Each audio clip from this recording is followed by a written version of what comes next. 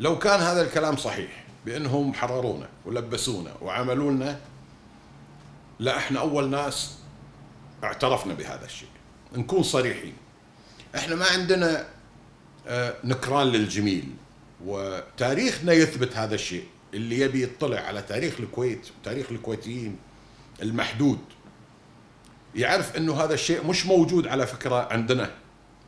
آه، حاول البعض انه يظهر عرب الجزيرة العربية على أنهم بدو رعاة غنم ومش عارف إيش وكأنها هذه سبة. هذه مش سبة هذا ال- الكون. يعني آه، ما حد انولد دكتور ولا حد انولد ساكن في قصر. كل الناس بدت آه، بجحور بمغارات عاشوا بخيم ببيوت من طين الحياة تبدأ بهذه الطريقة. إحنا مش ذنبنا. كعرب الجزيرة العربية إنه الاستعمار ما ما استعمرنا. لو كان الاستعمار مستعمرنا مثل العراق ومصر وسوريا ولبنان كنا الآن في شوارع وطرق ومحاكم وقوانين إحنا ما حدا استعمرنا. تركونا بهالصحراء قاعدين بخيم وبدأت الحياة تتطور. لو ما طلع عندنا نفط كان لغاية هذه اللحظة ما حد يعرفنا ولا حد سأل فينا. هذا الكلام ليش يزعل؟ إذا كان كلام حقيقي وتاريخي. ليش يزعل؟ يعني آه إحنا في الكويت نتكلم على على على الكويت. الكويت كلنا نعرف إنه بلد هجرات. من إيران من العراق من الجزيرة العربية من كل من اليمن بلد هجرات. طيب هذه الهجرات ليش تجي الكويت؟ أكو إنسان يترك بلده ويروح لدولة أو لمكان فقير؟ لا الكويت كانت بلد خير وفيها خير. اللي يجي يقول إن هذول كانوا عايشين بفقر إحنا مرينا بمراحل فقر مثلنا مثل كل العالم. لكن الكويت مش آه، غنية وإن آه، صارت دولة بعد النفط. لا الكلام غير صحيح. الكويت من قبل النفط كان عندها تجارة وعندها أسطول. التاريخ يذ- يذكر إنه كان ثاني أكبر أسطول بعد الأسطول العماني. تعدى فوق ال 700 آه، سفينة. كانت تجوب تروح أفريقيا تروح الهند تروح السند تجيب تجارة وبضايع ودنيا وتشتغل في التجارة. ف آه، يعني في أحد المعاهد ال- الخاص في الأزهر الكويت متبرعة لبناء سنة 1919 في مسجد في بريطانيا الكويت تبرعت في بناء قبل النفط ب 30 40 سنة. المدارس اللي افتتحت في الكويت قبل النفط ب 20 و30 سنة. فبعثة المدرسين اللي وصلت الكويت قبل النفط. فاللي يحاول إن يعتقد إن تقليل من شأن الكويت انه والله الكويت صارت دولة بسبب النفط. لا النفط زاد الخير. لكن رغم ذلك الكويت ما قعدت. وقالت مين ساعدنا مين ما ساعدنا نعطي فلان ما نعطي فلان. لا. الحمد لله. أياديها بيضاء على كل العالم. أجانب وعرب. يعني هذه حقيقة. آه، بالنسبة للموضوع سؤالك عن موضوع المصريين. والله العظيم أنا ما عندي مشكلة شخصية مع المصريين. وأنت يمكن شفت الموظفين اللي عندي. مصريين. الموضوع ما له علاقة في جنسية. الموضوع واضح جدا. أنا من النوع اللي عندي هواية القراءة وكثير أبحث عن المعلومة. أحيانا يكون بعض المعلومات خاطئة من مواقع رسمية. يعني مثلا تأخذ معلومة من موقع وزارة موقع الوزارة مسجل المعلومة غلط. ألاقيها بمواقع أخرى أدق. عرف شو؟ لكن ما أقدر أعتمدها. اضطر أعتمد المعلومة مالت الوزارة. لأن هي المرجع حتى لو كانت خطأ. هي المرجع كوزارة هي تتحمل مسؤولية. لكن موقع غير معروف حتى لو معلوماته أدق ما أخذ. أنا قعدت في بلدي أيام الاحتلال أنا وزوجتي وعيالي. فدائما اللي قاعد في بلده تحت الاحتلال يكون آه، يراقب كل العالم لأنه يبي يشوف منو اللي راح ينقذه. فكنت أتابع كل شيء يحصل في العالم. من أخبار. ونعرف كل اللي قاعد يصير. ماشي؟ نعرف الأسباب اللي بسببها صار في تفكك عربي. ونعرف الأسباب اللي صار في بسببها استدعاء قوات عربية. لكن الحين أنا اخلي شخص مثلا يجي يسألني أو أنا أبي أسأله. شخص معين. أنتم ما شفتوا اللي إحنا شفناه. إحنا اللي قاعدين في البلد. مو اللي برا البلد اللي قاعد في البلد. في من جميع الجنسيات في البلد. كان في مصريين. طيب جيبوا لكم مواطن مصري اثنين ثلاثة أربعة وأرشح لكم أسمائهم لأن كان كانوا في اتصال بيني وبينهم حتى أثناء الاحتلال. خليه يقول لك متى شاف الجيش المصري في الكويت؟ مو أنا اللي قاعد أتبلى. الكويت ترى كلها الكبر. سنة 90 ما كان عندنا هذه المناطق اللي الآن اللي إحنا كنا كلنا ملمومين في في في طرف واحد. فاللي كان يدش مدينة الكويت وبعدين أنت قاعد تتكلم عن جيوش أعداد مهولة. فكنا نشوفها وكلهم في المدينة. ما نتبلى على أحد ولا نقلل من قيمة أحد. ولكن لما يجي واحد يحاول ينسب كل شيء له لنفسه هني نقول له ستوب وقف. لأن هذا تاريخ. نقدر دور مصر نقدر موقف الرئيس حسني مبارك نقدر مواقف كل الدول اللي وقفت معنا وعلى رأسنا من فوق. وكل سنة في وقت ذكرى آه، الغزو أنا أنشر بصفحتي شكرا في الفيسبوك أحط صور كل القادة العرب والأجانب. والرئيس المصري من ضمنهم والرئيس حافظ الأسد من ضمنهم. أكتب لهم شكرا تقديرا مني كمواطن كنت عايش تحت الاحتلال لدورهم. أوكي ولكن لازم نسمي الأمور بمسمياتها. نجي نتكلم هذا الحين خلصنا موضوع حررناكم. كلمة حررتنا معناته أنك أنت اللي تصديت للموضوع وهذا كلام مو صحيح. يعني في قائد القوات العربية المشتركة في وقت الاحتلال الأمير خالد بن سلطان كان نائب وزير الدفاع وهو قائد القوات المشتركة. ما هو حاط بالصفحة الأولى في كتابه مقاتل في الصحراء لما تلقى خادم الحرمين الشريفين الملك فهد الاتصال وعلم بأن الكويت احتلت. فقاعد يذكر شنو صار النقاش. فيقول كانت القوات العراقية في ذلك الوقت تعادل واحد إلى 15 بالنسبة لقوات دول الخليج. واحد إلى 15 لو استدعينا القوات العربية كلها مصر وسوريا وغيرها ستصبح القوات لا قال لو لو الجيش المصري هذا مكتوب الكتاب بس معلش أنا قاعد انقلك بالذاكرة. لو جاء الجيش المصري والسوري ستكون القوات واحد إلى سبعة مع العراق. فلو جبنا الجيش المغربي وكذا راح تكون القوات واحد إلى اثنين. إذا ما زلنا لا يوجد لدينا قوة عربية قادرة على إخراج العراق من الكويت.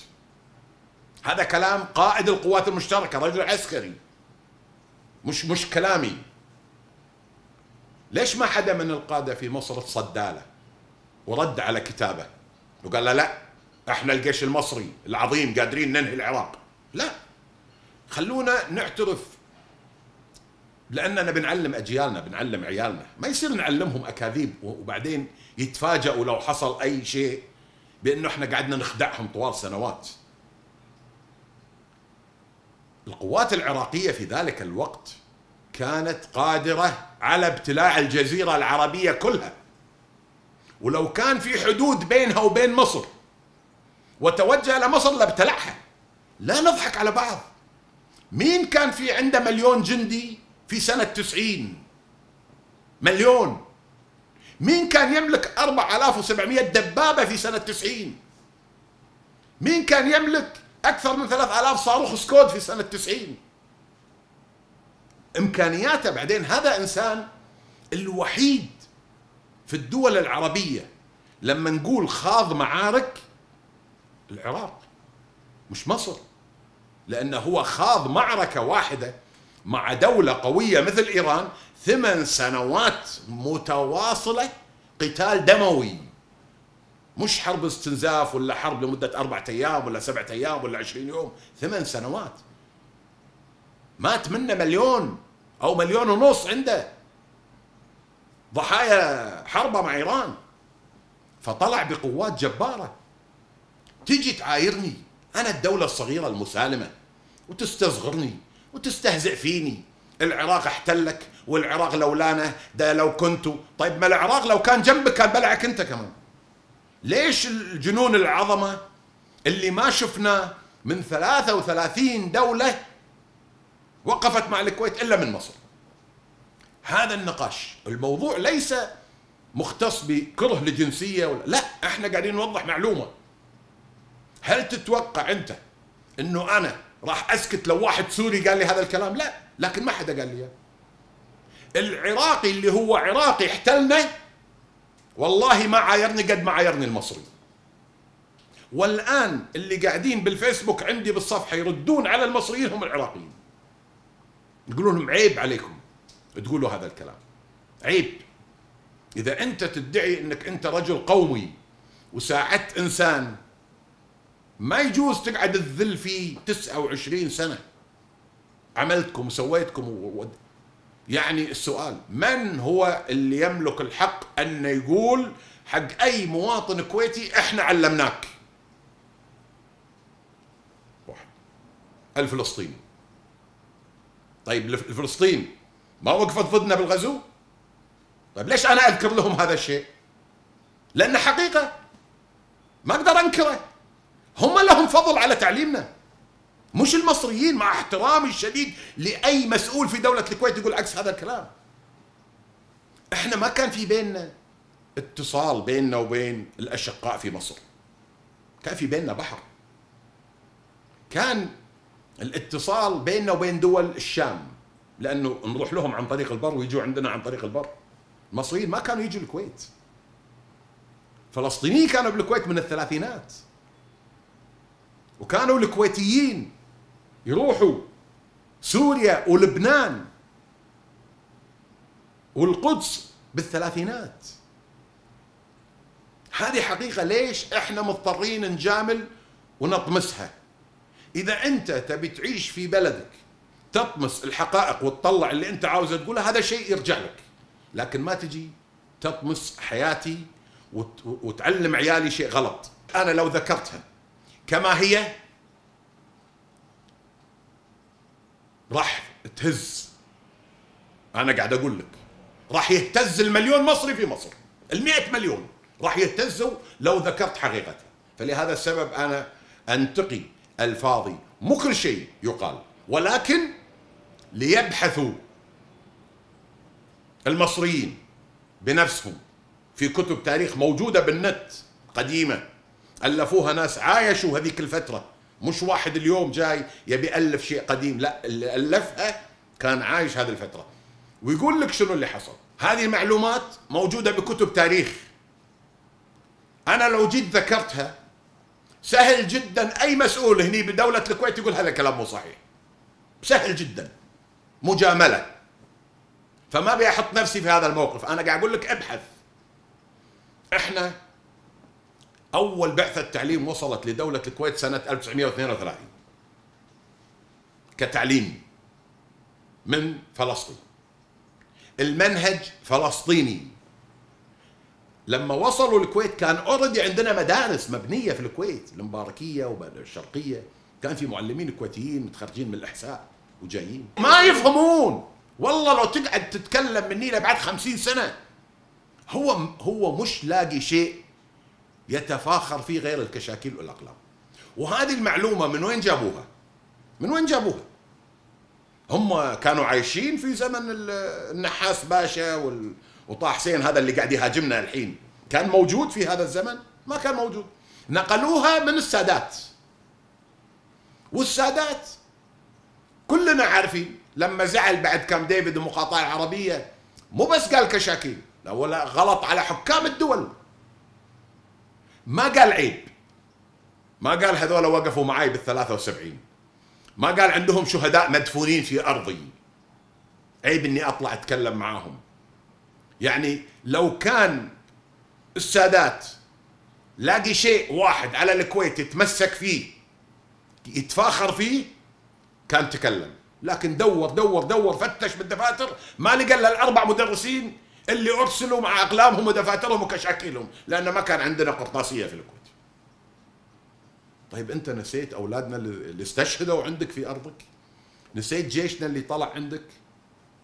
قعد عندك في مصر من سنة 67 لل 73 ما رجع إلى الكويت ست سنوات نسيته وجاي يتذكر وتعاير الكويتيين في كشاكيل أنا لما نزلت الحلقة قلت أنتم تعلمتوا المعايرة من القادة يعني تخيل أنت يطلع الآن حكام دول الخليج ويعايروا المصريين بالمليارات واللي عملوه معاهم. بتزعلون ولا ما تزعلون؟ كلكم راح تزعلون. طيب ليش إحنا مو مسموح لنا نزعل؟ خصوصا إنك أنت يا ريتك قاعد تقول شيء صحيح. أنت قاعد تفتري. قاعد تتكلم كلام مو صحيح. لما تيجي تقول لي أنا بعثت لك مدرسين ببلاش لا هم مو ببلاش. ابدا مو ببلاش.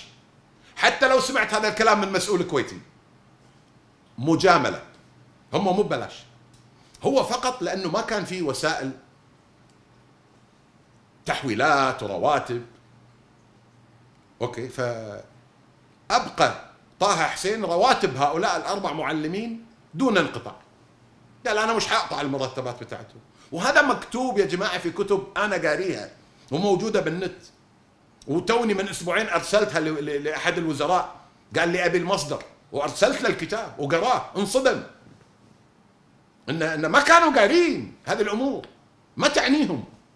النظام التعليمي في الكويت ونهضة التعليم في الكويت وشنو الأحداث اللي صارت وليش تم طرد آه، وإنهاء خدمات طه السويفي مدير المعارف المصري في الكويت.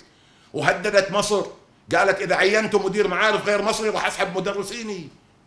هذه الأحداث كلها مذكورة.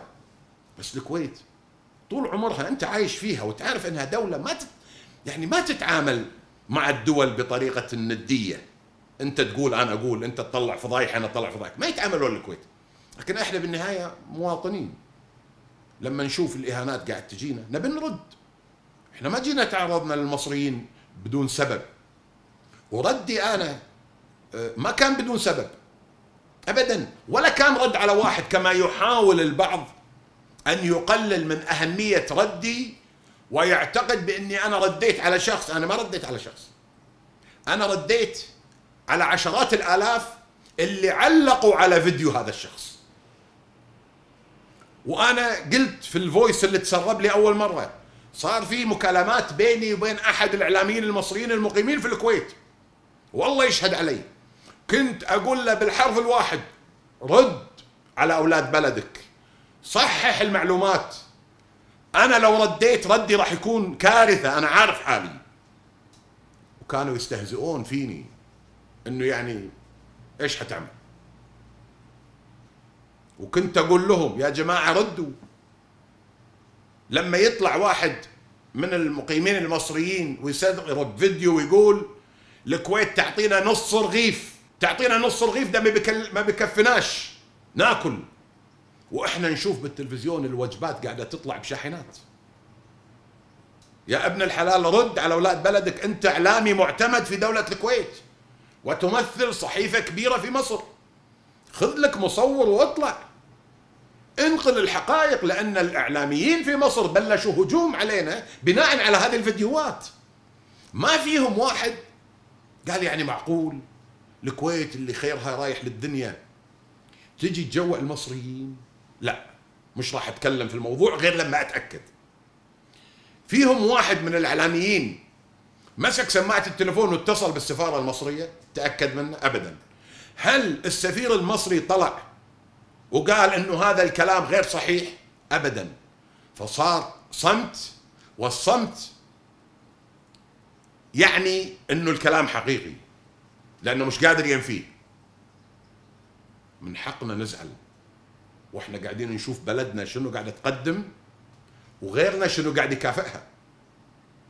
لما يطلع مذيع كبير مثل محمود سعد في التلفزيون يقول إن الكويت راميه المصريين في خيم في الصحراء بالجو الحار ده. جينا نطالب الإعلاميين المصريين ردوا يا جماعة ردوا ولا حدا رد. سفارة ما ردت إعلاميين ما ردوا. شنو الرسالة اللي تبي توصلونها؟ إن كلام اللي يقوله محمود سعد صحيح؟ لا ساعتها إحنا راح نرد ونقول هذا الكلام مو صحيح. لما يطلع إنسان بفيديو وينشره بالفيسبوك منذ أن بدأت الأزمة مظاهرات اللي حصلت في في المراكز الإيواء وطلع يهدد ويزبد. هو عمم علينا كلنا الإساءة. ودخل في أعراضنا. وأساء لنا؟ لا وما اكتفى. أساء لرمزنا. وكلكم شفتوه. خليه على جنب. أنا قبل لا أرد عليه قررت أني أبحث. قلت يمكن هذا شخص من المعارضة المصرية اللي مقيمين خارج مصر. ويهمهم إنهم يعملوا فتنة بين الكويت وبين مصر. صح؟ هذا جائز. وأنا من النوع اللي ما ارد على أي واحد. دخلت بحثت عن هذا الشخص. وطلعت فيديوهات لهذا الشخص. هذا الشخص شخصية معروفة في مصر. لقيت له لقاءات في القنوات الخاصة.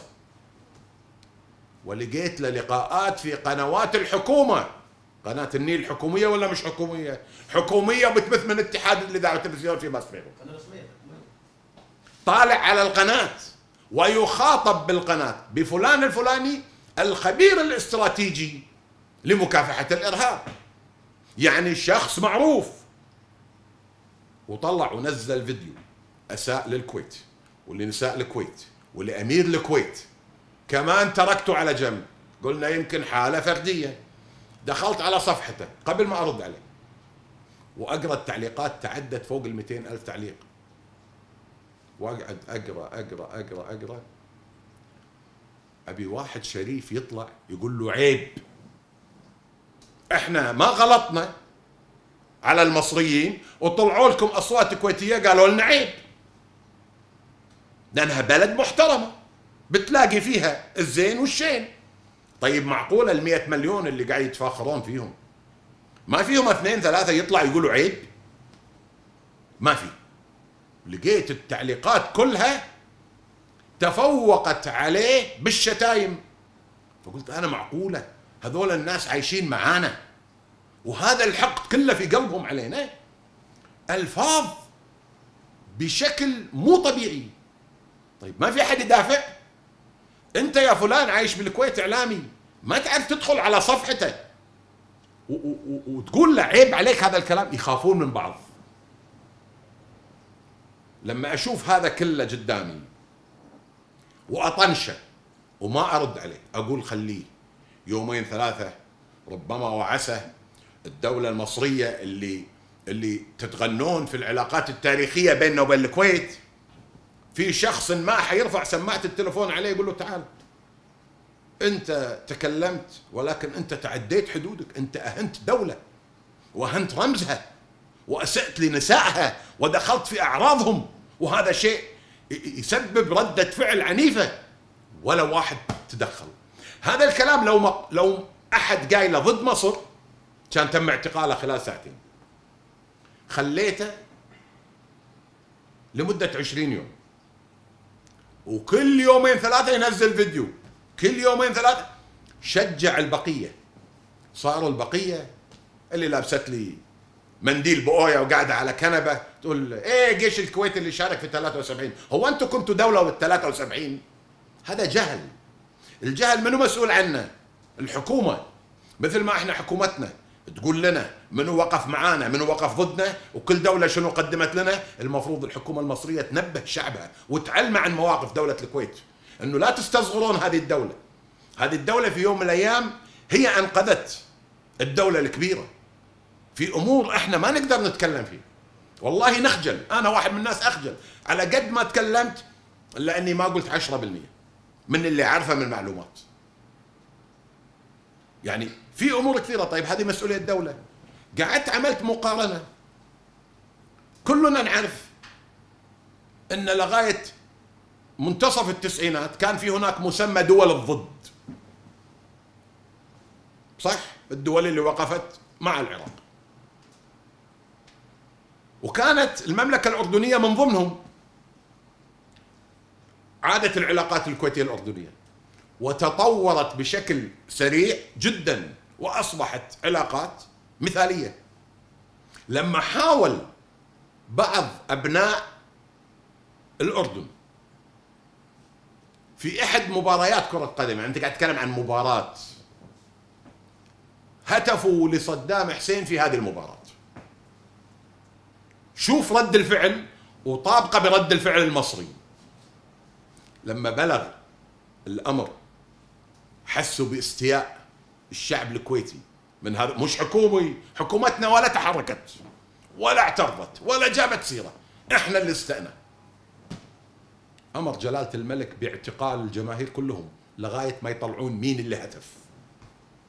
وطلعوا الأربعة. وحاكموهم وحيلوا للنيابة بتهمة إساءة العلاقات. وبعثوا وجهاء ذهبوا لسفارة دولة الكويت يقدمون اعتذار. رغم أن إحنا ما اشتكينا ولا تقدمنا بشكوى.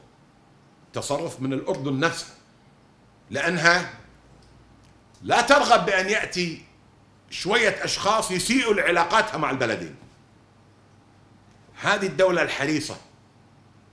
إحنا في دولة الكويت حريصين على علاقاتنا مع مصر. وأنا أقولها للتاريخ مصر ليست حريصة على علاقاتها مع دولة الكويت. ابدا. ابدا. ومستعد أناقش أي إنسان. وأذكر له مواقف على مدى 29 سنة صمت من الإعلام المصري ومن الحكومة المصرية. كان بإمكان المصريين يطفئوا النار من وقتها من خلال سفيرهم في الكويت. ولا يتركوا الموضوع يكبر ولكن ترك ترك لأن هناك بعض الأشخاص اللي يديرون الإعلام في مصر ماخذين العملية إن إحنا أسياد العالم. مين دول؟ هذا زمن ولا. هذا الكلام انتهى. ما عاد الحين في دولة حجم وعدد. وإلا لا الهند صارت ثاني أقوى قوة بالعالم. مساحة وعدد. مليار و200 مليون. إحنا عندنا مليون هندي. وهم اللي من حقهم يتفاخروا بمساحتهم. وأنت عارف الحضارة الهندية. ويتفاخروا بعددهم مليار و200 مليون. يعني قد المصريين 12 مرة. ما سمعنا في يوم من الأيام الهندي. قال لك اسمع ما تكلمني أنا بلد حضارة وأنا تاريخ. وأنا مليار و200 ما سمعنا هذا الكلام. ما سمعناه من ولا دولة ولا سمعنا دولة بالعالم تعاير دولة ثانية. دول وقفت مع دول. دول أوروبا أنقذوا اليونان دولة حكومة كاملة من الإفلاس. ما عايروها. إيش معنى المعايرة؟ تطلع من مصر. أنا شخصيا مقتنع بأن الأمر ممنهج. ومقتنع بأن الأمر له علاقة بالدولة. قناعة من واقع معطيات معينة أشوفها. حكومتي لا ترى هذا الشيء. حكومتي لا ترى هذا الشيء. ما زالت لا أعلم إذا كانت ترى وغضت النظر أو إنها لا ترى هذا الشيء. ما زالت الحكومة الكويتية تقول لك إنه تصرف فردي. لكن أنا من واقع اللي قاعد أشوفه بالفيسبوك ودخولي للمواقع والاتصالات اللي قاعد تجيني من مصر. أنا تلقيت اتصالات من مسؤولين كثار في مصر تربطني فيهم صداقة. وجدت أن كلهم بيكلموني بنفس يعني يا جماعة هم ما بيعرفوا بعض. يعني هل اتفقوا ما هي الرسالة اللي يطلبوها مني؟ كلهم يطلبون مني ما تردش. بس. طيب واللي عندكم؟ سيبك منه. طيب سيبوكم مني أقول لهم أنا. أقول له أنت تطلب مني ما أرد على فلان. وانت ما تبي تعاقبه ولا تبي تسكته. هو حالة فردية؟ أنا حالة فردية. هو لا يمثلكم؟ أنا ما أمثل الدولة. ليش زعلانين؟ شنو السبب الزعل؟ أنت أسأت لي. أنا ما دخلت بأعراض المصريات. ما أبي أتكلم في أمور ما يكون في عندي دليل مادي. في في القانون أو بالجرائم يكون دائما في دليل حسي ودليل مادي. دليل حسي لما تكون أنت مع شخص في غرفة واحدة وينقتل هذا الشخص والكاميرات تصورك أنت طالع من الغرفة وما حد دخلها بعدك ولا قبلك. هم ما حد شافك وأنت تقتله ولكن كل المعطيات الإحساس حيوجه الاتهام لك. لحين ما تعترف أو أن هم يثبتوا عليك الدليل المادي فالدليل الحسي يثبت عليك. أنا حاليا اللي شايفه الدليل الحسي الكويتيون يتعرضون لإساءة من الحكومة المصرية. من هو الطرف؟ لا أعلم. هل هو وزارة الإعلام؟ هيئة الاتصالات؟ جهاز المخابرات؟ لا أعلم. لكن اللي قاعد يحصل واضح أنه بتعليمات. وعملت عدة مقارنات. أنت مصري مقيم في دولة الكويت. عمرك حدا أساء لك بشكل مباشر؟ عمرك جيت أحد تعرض لك؟ طيب هم قاعدين يصورونا إن إحنا قاعد نمشي ونهين المصريين والله إحنا بالكويت نخاف من المصريين. نخاف من المصريين. تخاف تشتكي على مصر تروح المحكمة رحت المحكمة رحت فيها هذه حقيقة ليش نضحك على بعض؟ فقاعدين يحاولون يزرعون بالناس الحقد على دول الخليج الدول الغنية. ليش؟ أي أمر لازم تتخيل إيه اللي ممكن يكون الهدف شوف هم يتعاملوا مع كل دولة باختلاف. هم أرادوا الآتي. وهذا الكلام أنا قلته بس علشان خاطرك أنت أصريت إني أعيده بعيد لك إياه. بحاول أختصره قد ما أقدر. في مصر من بعد 73 ماذا حققت مصر؟ كفرحة كإنجاز تفرح فيه ولا شيء. ما ولا شيء. لا إنجاز علمي ولا طبي ولا يعني ولا ابدا. حتى الإنجاز الطبي اللي كانوا حيفرحوا فيها اللي يسمونه أصبع الكفتة كانوا حيفرحوا فيه وما ما, ما نجح. ما في. فكان من بعد 73 الانتصار اللي أنا من وجهة نظري أعتبره انتصار مزعوم. زعلوا أو ما زعلوا. أنا أتكلم دائما حسب تحليلي والقانون ما يحاسبني على تحليلي. أنا حر. أنا ش... أنت شايف انتصار أنا مو شايف انتصار. أنت عندك معطيات أنا عندي معطيات. أنا عندي كتب صادرة من قياداتكم في ذلك الوقت. لما رئيس الأركان يقول لك إحنا انهزمنا. أجي أصدق واحد مصري بالفيسبوك يقول لي لا إحنا ربحنا. لما يطلع الرئيس السادات يقول مصر لم تدخلها الأفراح من 500 سنة. طيب اذا وين الانجازات اللي نتكلم عنها؟ ما في. فكانت مشاركة الجيش المصري في حرب تحرير الكويت هي القشة اللي تعلقوا فيها ليعيدوا الفرحة للشارع المصري، إن ترى الجيش المصري اللي أنتم شايفينه وقاعدين نسلحه صار لنا سنين ترى عمل عمايل. وأنا شفت نشرة أخبار أرسلت لي تو جديد من حوالي سنة لتلفزيون المصري وهو يزف البشرى للشعب المصري أيامها ما كان في فضائيات. حتى كان الشعار مالهم ثلاث أهرامات. يزف بشرى تحريرة لدولة الكويت. للناس المصريين في في الشارع المصري. وانبسطوا. فلما يجي واحد مثلي مش قائد جيش ولا وزير ولا رئيس أركان ويقول لهم هذا الكلام مو صحيح مش حيصدقوني. لكن أنا بالنسبة لي تاريخ الإعلام المصري اطلعت عليه بالكامل. مش الجيش المصري وصل مشارف تل أبيب؟ ولا نسينا؟ أحمد سعيد. ما عندي الصحف. عندي صحيفة الأهرام والجمهورية وغيرها. الجيش المصري يقف على مشارف تل أبيب. الجيش المصري أسقط 700 طيارة إسرائيلية. ومصورين حطام. الجيش السوري يقترب من الدخول إلى حيفا. الصحف المصرية. بالنهاية شو اكتشفنا؟ اكتشفنا أن عبر البرليف ووقف وين أنت على البر... على حيفا وعلى تل أبيب؟ طيب لما هذا إعلام يكذب بهذه الطريقة أنا لو إعلامي يكذب بهذه الطريقة ما يعني بحياتي بعد ما أصدقه. لا. المصريين من كثر ما هم بسطاء. لا ممكن تقعد تكذب عليه. كل يوم كذبة ويصدقك. كل يوم كذبة ويصدقك. ما عنده مشكلة. ما دام هذه الكذبة تعطيه نشوة. تعال الآن خل الإعلام الجريدة مصرية. تكتب. المصريين يغزون المريخ. بعد يومين تلاقي المصريين بالفيسبوك. أنتوا عملتوا إيه؟ ده إحنا وصلنا المريخ. خلاص خذها. ما فكر فيها ما حللها ما سأل كيف وصلنا المريخ. مو مهم. هذا حرام اللي قاعد يصير. حرام. تجيني رسائل من دول خليجية. هم بيقولوا الإخوان يردوا علينا إيش معنى أنتم يا الكويتة؟ ما إحنا عندنا مصريين في الإمارات وعندنا مصريين في مش عارف هذا رد. والله العظيم لو تطلعوا على الرسائل اللي توصلني من هذه الدول تنصدموا.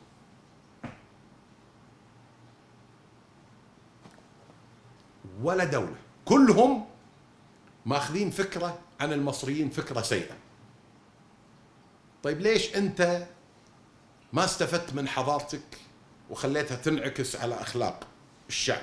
وعلمت الشعب إنه شلون يكون محترم؟ وحتى لو فعلا أنت في يوم من الأيام أعطيت إنسان غلبان رغيف خبز. ما يصير تجي بعدين تعاير أنا اللي أعطيتك أنا اللي وكلتك. هذه مش أخلاق عرب. ابدا. فإحنا المشاكل مو مع آه، جنسية. المصري الغلبان اللي تارك بيته وتارك عياله وجاي يترزق الله إحنا نوقف وياه ونساعده ونحطه على راسنا من فوق. وعندنا شواهد ما نبي نتكلم عنها إيش عملنا وإيش قدمنا للمصريين خلال هذه الأزمة. أنا أتكلم عن نفسي. وجيراني مصريين. ويشهدون في هذا الشيء. لكن عيب إحنا نتكلم. وهذا واجبنا. مو منا على حد. والله هذه مسافة السكة أنا شاكك فيها بصراحة. أنا شخصيا آه، ما أعتقد. شوف الحكومة الكويتية مش موضوع تجامل المصريين. على فكرة الكويت تجامل الكل هذه حقيقة. الكويت تجامل الكل الكويت عندهم سياسة وضعها صاحب السمو وهي سياسة يعني اعمل المستحيل انه ما يكون لك أعداء. دائما خل كل العالم اصدقاء لك لا تدخلوا في مهاترات. خلوا سياستكم مبنية على علاقات غير مبنية على ردات فعل. هذه سياسة دولة.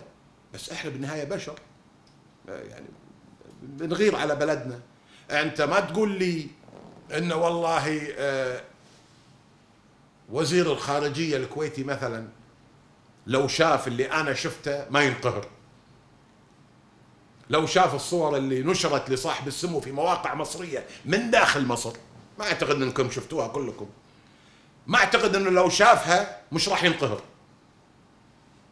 بس طبيعة عمله تخليه يتعامل مع الحدث بشكل مختلف وهذا آه، حق. هذا هذا هذا دولة يعني. الجيش المصري خليه يدافع عن حاله؟ ما هو عنده مشاكل في ليبيا. عنده مشاكل في سيناء أنا لما جيت ضربت مثل في في سيناء ليش المصريين اعتقدوا إن إهانة؟ أنا هني صار في اتصالات بيني وبين قيادات عسكرية. وأنا عندي خالي مش شخص غريب رجل لواء متقاعد. ومش واحد عادي بالجيش واحد له ثقل علمي في مجال العمليات العسكرية. أقعد أتناقش معاه. فنعمل مقارنة بين ما يحدث في سيناء وبين ما ممكن يحدث في أرض المعركة. فالمعطيات العسكرية الآن كانوا ال- الدواعش أو طالبان أو بن لادن تجمعهم في أفغانستان وكانوا مسيطرين على دولة بأكملها. وأنت تعرف هذا الشيء. ويملكون من الأسلحة والذخيرة الكثير. يوم ما قررت أمريكا تروح تنهيهم نهتهم. جيش. هذه قوة. الآن بعدها طلعوا الدواعش في السعودية. فجروا مساجد فجروا أشخاص قتلوا وكلنا تابعنا هذا الشيء بالأحداث. عمرنا سمعنا الجيش السعودي نزل الشوارع؟ ابدا. كافي رجال الأمن السعودي. بقواتهم الخاصة وإمكانياتهم قضوا على هذول كلهم في شهور. سحبوهم من بيوتهم طلعوهم من مخابئهم والسعودية مساحتها مرتين ونص أكبر من مصر وعددها أقل. لكن قضوا على الدواعش عندهم في البلد ومسكوا أمن البلد. فأنا أجي أقول يا جماعة مصر صار لها ثمان سنوات في سيناء ومنزلين جيوش. وأخذوا الإذن علشان يطيروا طيارات لأن اتفاقية كام ديفيد تمنعهم من من تطير طائرات في في سيناء ونزلوا طيارات أباتشي ومش عارف إيش وجيش كامل. طيب هم قاعدين يحاربون مين؟ كم واحد؟ ألف؟ ألفين؟ ثلاثة؟ عشرة؟ شنو مدى تسليحهم هذول الناس؟ ليش ما زالت المشاكل مستمرة كل كم يوم يستشهد عشرين وثلاثين ضابط عسكري مصري؟ من وين قاعدين يجيبون الإرهابيين أسلحتهم؟ كيف مصر عاجزة عن تجفيف منابع السلاح هذه؟ من وين قاعد تدخل؟ هذول داخل بلدك داخل أرضك. أنت مش رايح تحاربهم في دولة ثانية. أنت داخل أرضك. وجيش وشرطة ودنيا. قعدت أبحث. كم مساحة سيناء لقيت مساحة سيناء 200 ألف يعني تقريبا خمس مساحة مصر. طيب كم عدد سكانها؟ في المنطقة اللي فيها المشاكل؟ 450 ألف. 450 ألف. في منطقة صحراوية مكشوفة بجبالها؟ أحرقها. ثمان سنين أولادي قاعد يتقتلوا. ثمان سنين. وما شفنا ناس طلعوا اعترافات. من وين تجيبوا الأسلحة؟ مين اللي قاعد يمولكم؟ أصورهم بالتلفزيون وأطلع خلي العالم كله يشوف. ما شفنا هذا الشيء. فعشان كذي صار عندي قناعة إن أنا يا جماعة موضوع مسافة السكة هذا تركوه. شيلوه من بالكم. لا تبنوا آمال. هو مشغول داخل بلده ومشغول في ليبيا. إمكانيات ما في يا جماعة. إحنا كعرب ما عندنا إمكانيات. نقل جيوش للخارج لما تعرف كيف يتم عملية التقييم ستعرف من هو عاشر جيش في العالم. أول شيء لازم تبحث من اللي صنفك عاشر جيش في العالم. وعلى أي أساس تم تصنيفه؟ يصنفونه على أعداد سلاح. أعداد جنود أعداد سلاح. عدد. العدد عمره ما يعمل شيء. ما في جيوش عندها أعداد ما تعمل شيء. في جيوش عندها أعداد كبيرة ما تقدر تعمل. مش مصنفة.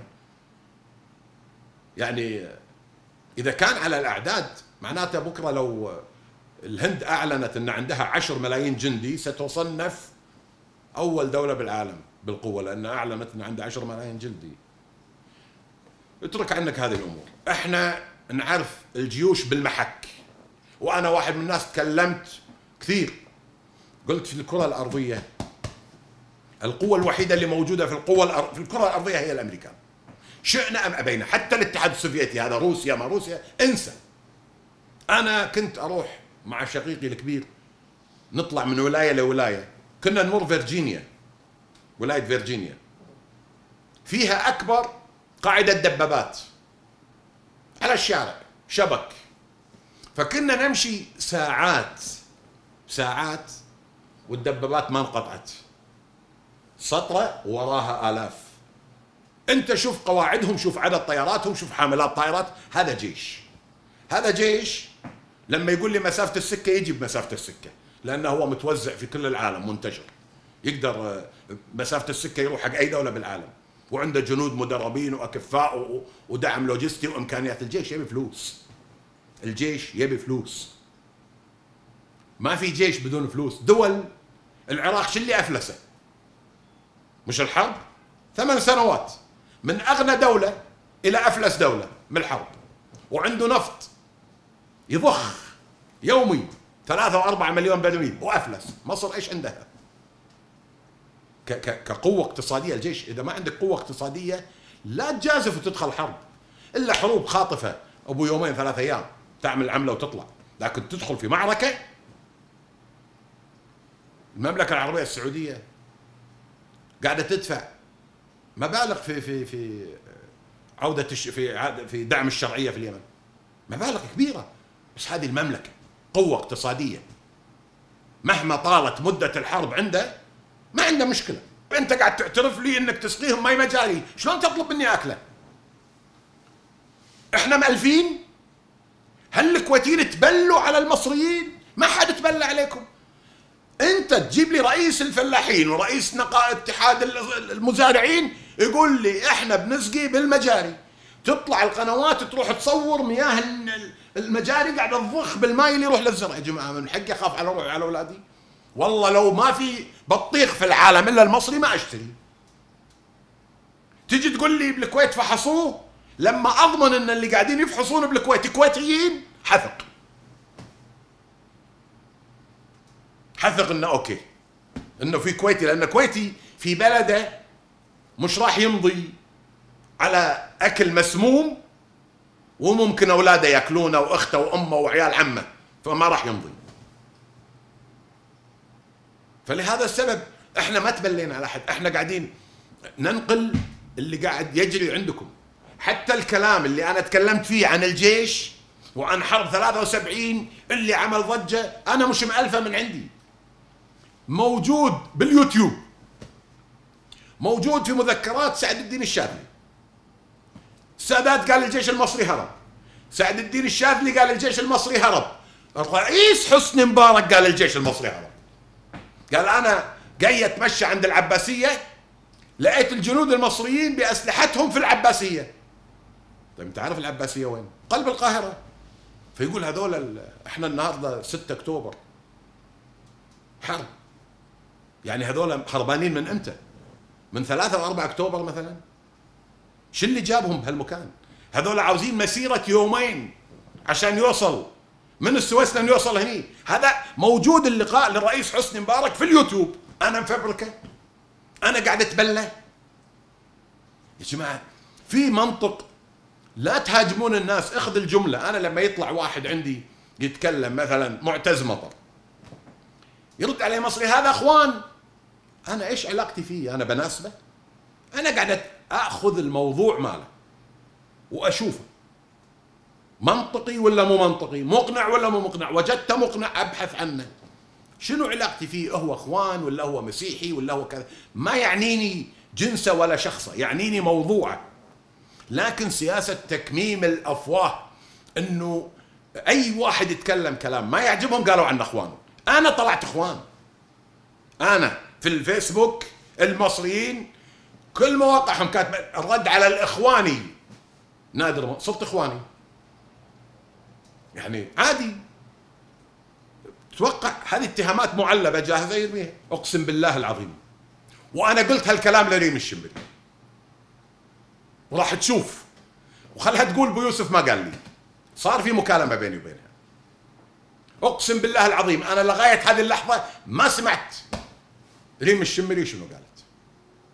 وموضوع الوقوف معاها جاء مثل ما قلت لك.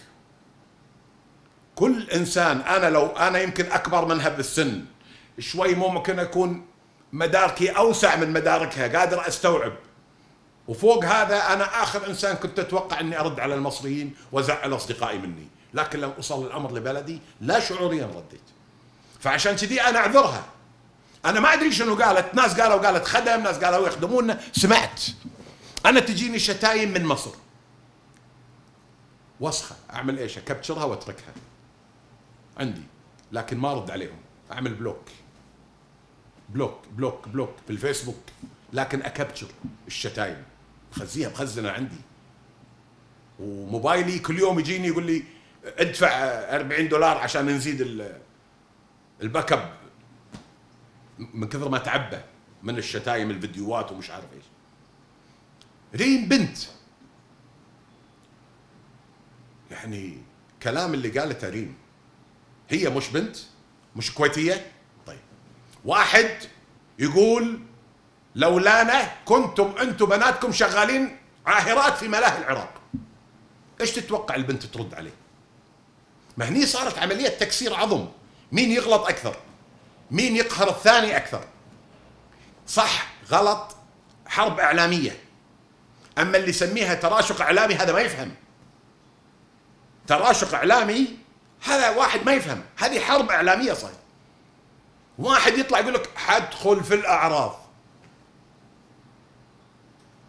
إحنا ما ندخل في الأعراض.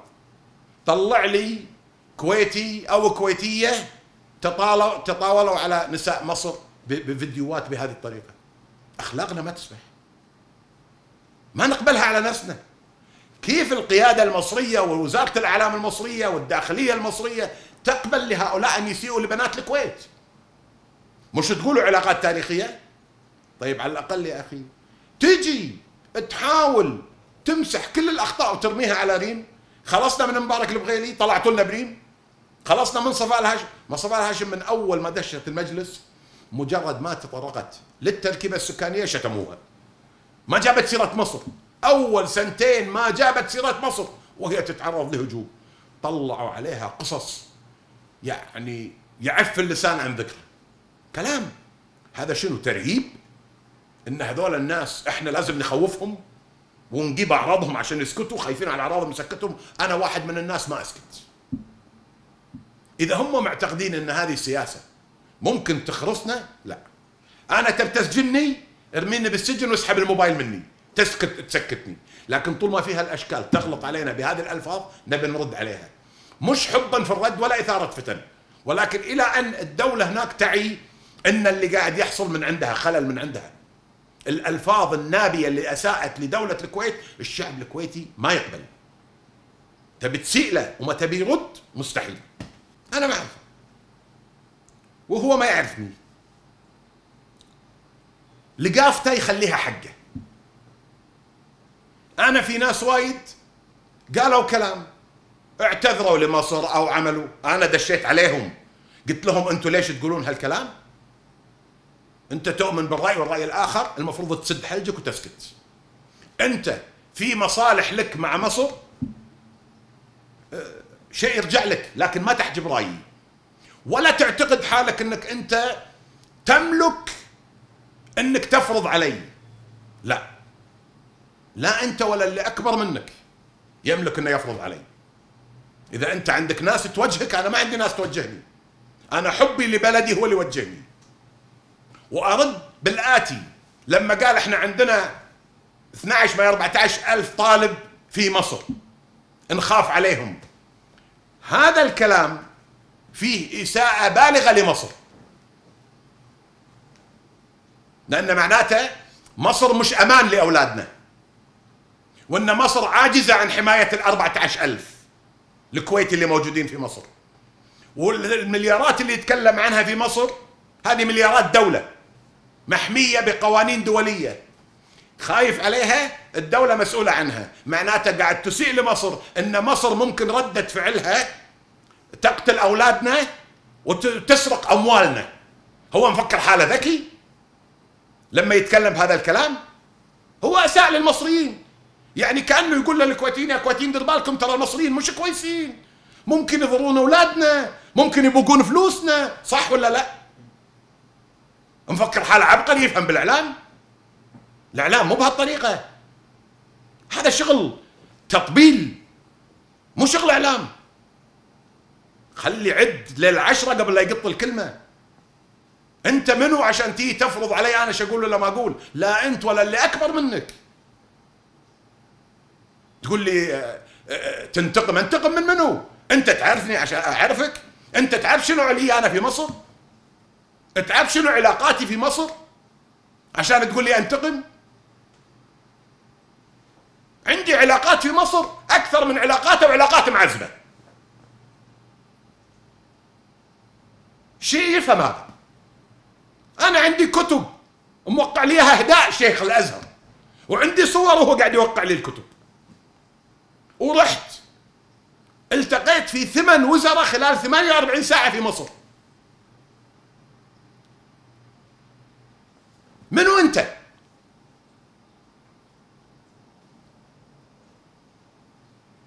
أنا أول شخص. وهذا الكلام منشور في الانستغرام. ادخل صفحتي في الانستغرام.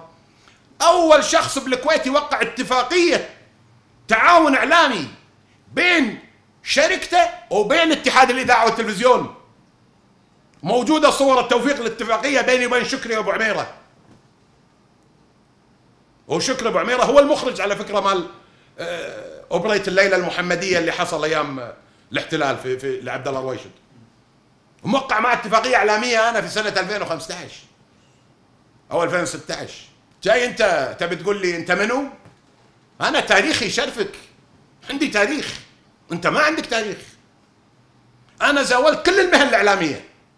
كل شيء. قصص كتبت وسويتها مسلسلات. أنت شنو تاريخك؟ تطبل حق فلان وتطبل حق علان؟ تش تاخذ تشتغل حق هذا ترويج انتخاب إعلام أنا ما أشتغل الشغلات ليش أرشح؟ مو مو مو شغلي هذا. أنا جاب شغلي يقعد. أنا مو مال إني أطلع. مجلس الأمة في الكويت من أسوأ المجالس. مجلس الأمة في الكويت ما تقدر تأخذ منه قرار. في نواب زينين. لكن شنو سووا حق الكويت؟ قانون واحد خلى يطلع نائب يقضب ورقه يقول هذا قانون طلعناه لمصلحة المواطن. ما في. ما في. القانون اللي طلعونه لمصلحة أفراد ما ينطبق إلا على أربعة خمسة. بس. المواطن إيش طلعوا له قانون؟ أنا بروحي شو أسوي؟ تعال يجيب لي 20 نائب بايعينها. ما عندهم استعداد يأكلون حرام ويرتشون. ويصوت بالاستجواب مقابل مبلغ ويصوت حق الرئيس الفلاني مقابل مبلغ يجيب لي 20 نائب. أقول والله ممكن نسوي تكتل وندخل نفرض قانون. لكن أنا بروحي إيش أقدر أسوي؟ ما أقدر أسوي شيء. أدخل أحرق روحي وأطلع؟ لا. خلني قاعد بين عيالي أحسن لي. بعد هم نائب مجلس الأمة وين بيشوف عياله؟ بعدين أنت عندك شعب عنده وايد مشاكل. شو تلحق عليه؟ كل اثنين عندهم مشكلة. ما تلحق. جمعوا مجموعه والله يون نقعد نبي نسوي كذا كذا. أوكي ما عندي مشكلة لكن أنا بروحي لا. ولا أفكر في الموضوع. ولا عمري فكرت فيه. ولغاية هذه اللحظة ولا أفكر فيه. ولا إني أنا آه، أبي أمن خط رجعة إنه ممكن أتهرب من السؤال. لا. أنت سألتني اليوم يوم الاربعاء تاريخ كم اليوم؟ 10 6 أنا قاعد أقول لك لغاية هذه اللحظة لا. وقلت من أسبوع لا. بس بالنهاية يخلق الله ما لا تعلمون. ما نعلم. ما نعلم شو يصير باكر عقبه لكن أنا من داخلي مش واردة هذه الشغلة. ابدا. وعيالي سالوني وقلت لهم لا. ولا أفكر في هالموضوع اللي يعتقد إن أنا قاعد أتكسب أنا مو محتاج أتكسب. من فلان ومن علان. أنا الحمد لله مكتفي ومستور. وما في أحد يطالبني. اللي طالبني دينار خليه يطق علي الباب. أنا مرتاح. لا مديون حق بنك ولا مديون حق شركة سيارات ولا مديون حق بطيخ. أجامل منو؟ ما جامل أحد. بلدي.